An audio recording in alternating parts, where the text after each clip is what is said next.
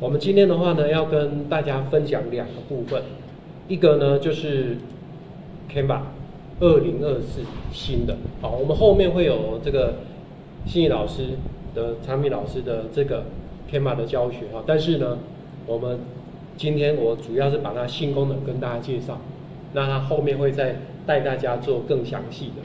好，那其实我们这个时间点上 Canva 刚好比较尴尬一点。为什么呢？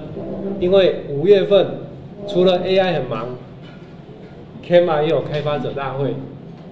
对，那他今年呢做了很大的更新。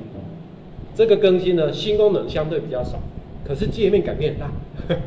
所以呢，老师呢大部分的老师应该现在可能还没有怎么样，就是你的界面还没更新到新版本。所以。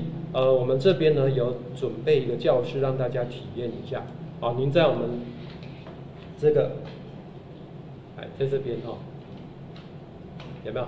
这里有一个 Canva 教室。好，您可以就是加入，这个是新界面的，可以先体验一下，让大家先体验到八月底。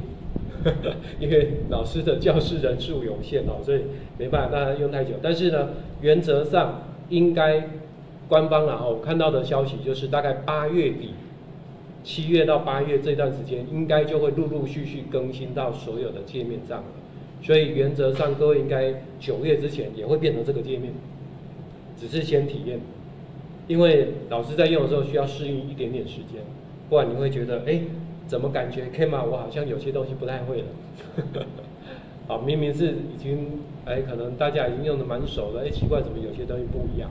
好，那这是一个。那一样的，我们的上课的影片，好，除了就是我们这边直播的，那我回去我这边也都会在录影，分段录影，然后再整理出来。好，所以我这边在首页这边我有放两个连接，给大家稍微参考一下，这样 OK 吗？有没有哈？那老师呢？如果说您那个刚比较晚进来的，就是在我们上面这边有我们的简报的网址哈，您就可以直接从上面这边打进来哈，就打后面这个，把它打到我们的网址列就好了。那简报的第二页这边呢，还是不可免俗，先自我介绍一下了哈。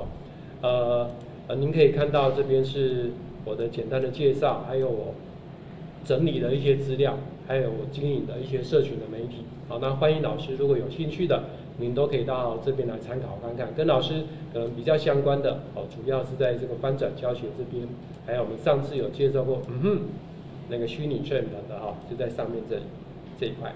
好，那如果说老师呢，您未来有使用上的问题，也欢迎你，我有提供官方账号，现在老师都 要提供售后服务哈，那您就可以通过这边找到我，OK。